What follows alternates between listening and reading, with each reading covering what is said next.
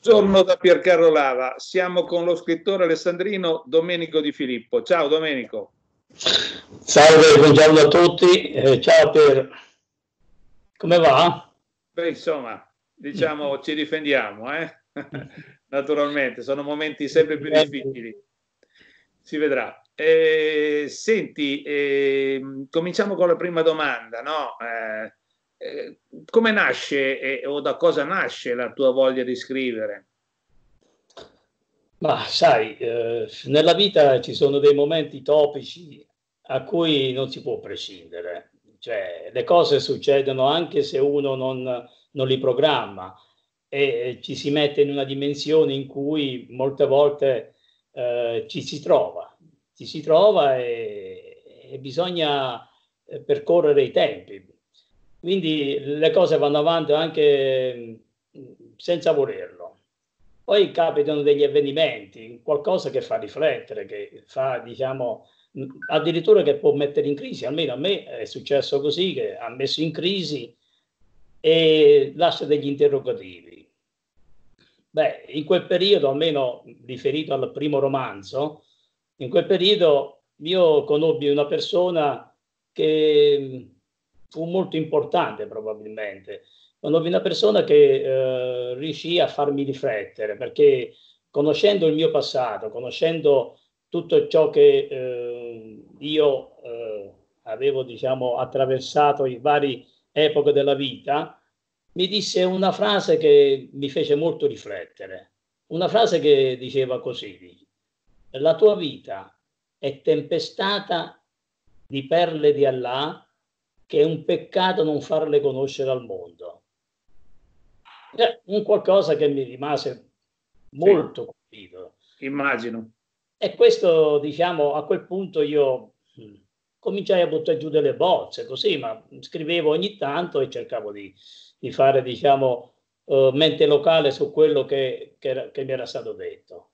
Poi cosa successe? Successe qualcosa. Nella mia scuola eh, lavorava con me uno scrittore alessandrino, eh, si, chiamava Giorgio, si chiama Giorgio Baietti, e che eh, insomma, oltre che essere uno scrittore, ha fatto delle trasmissioni televisive su Italia 1, quindi una persona insomma, dove poteva dare un giudizio su qualcosa, su qualche cosa che avevo già scritto. E così è fatto. Allora venne Giorgio e mi disse, Mimmo, guarda, fammi leggere le prime cinque pagine.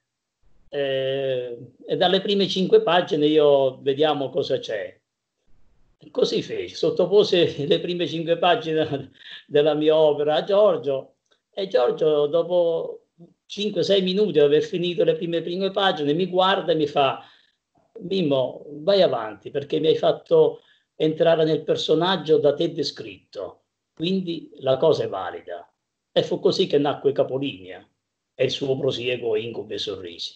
Certo. Ehm, parliamo adesso del, dell'ultimo romanzo, no? Eh, Incubi e Sorrisi, eh, che è nato, eh, da quanto so, da una tua esperienza politica molto intensa eh, e che conosco abbastanza. Eh, pensi che possa aver influito sulla sua realizzazione? Questa sua esperienza? Guarda, Incubi e Sorrisi eh, è lo sbocco naturale di Capolinea, che è il primo romanzo, appunto. Ma si differenzia eh, nel suo percorso eh, come epoca di avvenimenti diversi. Eh, capisci che attraversare gli anni 70, 80 e 90 eh, ripercorre alcuni avvenimenti descritti in questo romanzo molto forte, molto sentite. Ne, ne dico qualcuno eh, che passa dal sequestro Moro, dal periodo in quei 50 giorni del sequestro Moro al terremoto dell'Irpinia, all'alluvione di Alessandria. Quindi sono dei momenti molto topici che tre, eventi, tre eventi importanti che hanno caratterizzato il, il, il secolo precedente. Insomma. Secolo precedente, infatti. Eh, quindi capisci che questo, la condizione che io ho, ho dovuto interrompere incubi e sorrisi nel momento in cui ho, ho preso l'impegno eh, come amministratore del, del comune di Alessandria e quindi siccome è un impegno che io ho voluto dedicare buona parte della mia vita, una buona parte della mia vita, cercando di fare, andare a risolvere de, alcuni dei problemi che la città, diciamo, ha. Quindi, se tutto ciò ha avuto un risvolto, ma penso di sì, perché l'esperienza mi ha fatto conoscere, anzi mi ha fatto vivere dall'interno come amministratore di Alessandria questa città che ha tutte le sue contraddizioni le sue bellezze. È inutile. Io ho amato fin dall'inizio questa città e conseguentemente ha influenzato la stesura di questo romanzo mettendoci diciamo della, della passione, mettendoci quello che è tutto il mio background insomma. Certo, eh, facciamo un passo indietro mh, mm, perché Capolini ha, vinto un premio letterario molto importante ricevendo numerosi apprezzamenti. Da cosa nasce secondo te tutto ciò? Guarda, nella vita quando pensi di averle vissute tutte, poi ti succedono delle cose che probabilmente non te l'aspettavi. Quindi io avevo finito di scrivere mh, Capolinea da pochi giorni e girando così nel web avevo notato che c'era dei concorsi letterari. Uno mi colpì particolarmente. E questo concorso si chiamava La vita fugge, era dall'Accademia Letteraria Francesco Petrarca di Viterbo. Certo, la partecipazione era aperta soltanto ai romanzi inediti.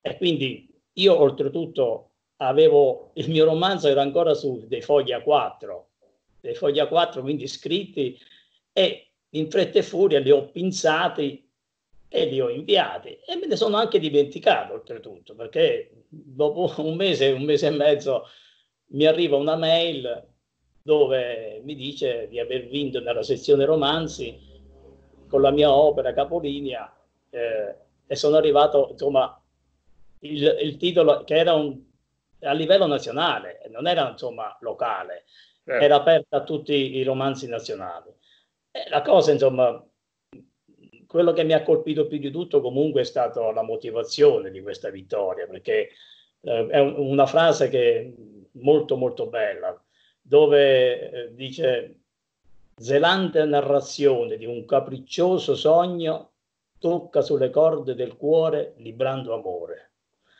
Ecco, io su questa frase penso di aver capito che dove il lettore avrebbe trovato l'interesse, le dimensioni e la passione perché così poteva rivivere insieme a Daniele, che è il protagonista del libro, momenti di una vita che l'hanno costretto a crescere diventando un uomo dei nostri giorni. Eh. Quindi questo è quello che diciamo è il retroscena di questo libro che non pensavo mai più che arrivasse insomma a vincere un concorso letterario di una certa importanza. Bene, quando non ci si no, pensa mai più... Eh? Successe poi che dietro a questa vittoria alcune case editrici eh, si offrirono di pubblicare la mia opera, ecco, è così che è diventato un libro. Certo, sì, e quando non si attende più e arriva è, è ancora più... Eh, c'è ancora più soddisfazione, no? Direi. Eh, eh, adesso rifacciamo un, un, passo avanti, veniamo proprio all'ultimo libro, Incubi e Sorrisi. Come pensi di coinvolgere i cittadini di Alessandria a, alla lettura e alla conoscenza del tuo della tua ultima opera, del tuo ultimo manoscritto. Certo.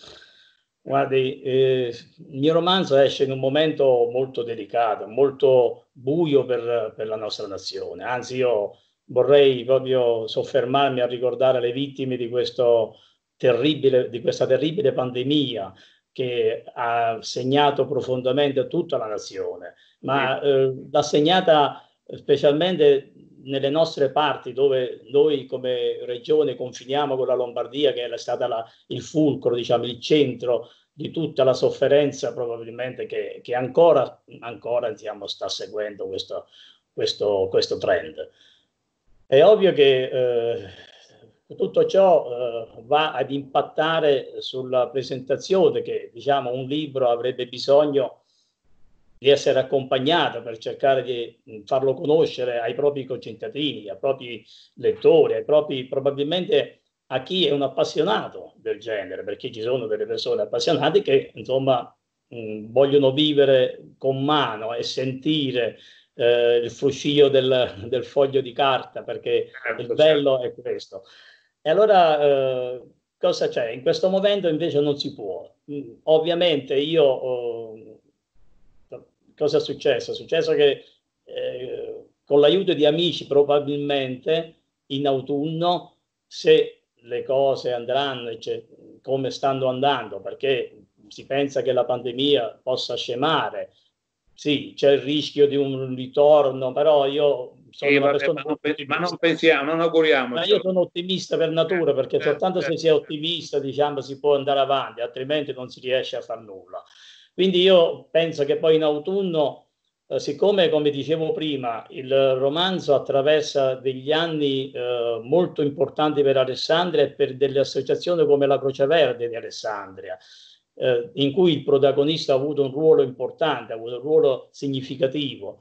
Quindi io eh, penserei probabilmente in autunno, oltre di fare alcune eh, presentazioni, anche per fare un dibattito, perché sarebbe molto bello eh, cercare per il ventiseiesimo anniversario dell'alluvione di Alessandria, certo. fare un dibattito sull'alluvione e, e, per l'occorrenza presentare il mio romanzo e cercare di dibatterlo in, in toto, anche eventualmente con dei protagonisti dell'epoca, perché eh, è molto bello insomma ripercorrere poi negli anni quello che è stato fatto, quello che non è stato fatto e quello che si può ancora fare. Sì, diciamo, diciamo che possiamo dire che il tuo libro è composto da una serie di capitoli della, della, della vita, della tua vita, ma della vita di molti, e un... ci sarà un'occasione, saranno diverse occasioni eh, per poterlo presentare, no? Certo, infatti eh, si possono fare più presentazioni cercando di andare a dibattere un capitolo, infatti mh, probabilmente dibatterò, eh, farò un dibattito uh, a Salerno in, uh, in occasione del 6 di novembre, del 23 di novembre, eh, che c'è stato l'alluvione, la, il terremoto, scusi, il terremoto del, dell'Irpinia, di cui il mio paese di origine è stato coinvolto e di cui il protagonista del libro fu uno dei primi soccorritori che eh, si recò sul posto proprio da Alessandria, eh, fino nell'Avellinese per andare a, raccogliere diciamo, dei, dei terremotati. Quindi eh, ci sono queste fasi che oltretutto diventa anche molto interessante per chi ha, all'epoca ha vissuto questi avvenimenti che sono stati molto tragici. Ecco. Certo, benissimo. Eh, avremo poi anche occasione di inserire questo video in un articolo scritto nel quale tu risponderai non solo a queste domande, ma anche a molte altre domande, fra cui, ma quella risponderai già nel testo scritto, sogni nel cassetto, se stai già scrivendo il tuo terzo libro ce ne vuoi parlare.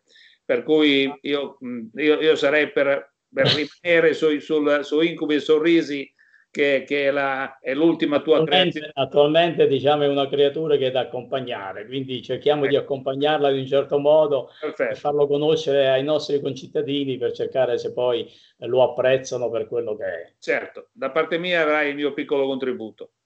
Ti ringrazio. Va bene, ciao Domenico. Grazie mille, salve, arrivederci. ciao. ciao. ciao.